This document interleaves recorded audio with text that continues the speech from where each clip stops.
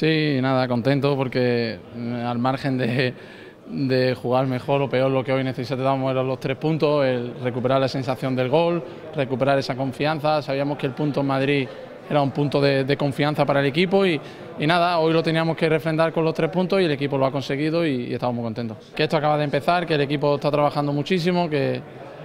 que nosotros pues los partidos que, hemos perdido han sido por, pequeños detalles y por la mínima siempre y que, el equipo va a seguir luchando, que ellos sigan con, nosotros como, como están animando en, todos los partidos y que, y que esperemos que, sea un año en el que ellos disfruten también. Tal y como hemos planteado el partido, sobre todo el buen inicio que hemos tenido, que se nos ha puesto de cara muy pronto,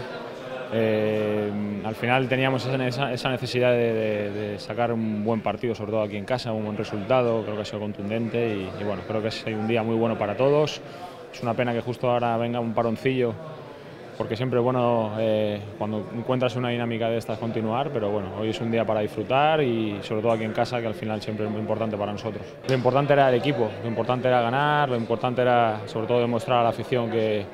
el trabajo es bueno y, que debe confiar en nosotros, que para nosotros es muy importante el apoyo que siempre nos da aquí en casa y,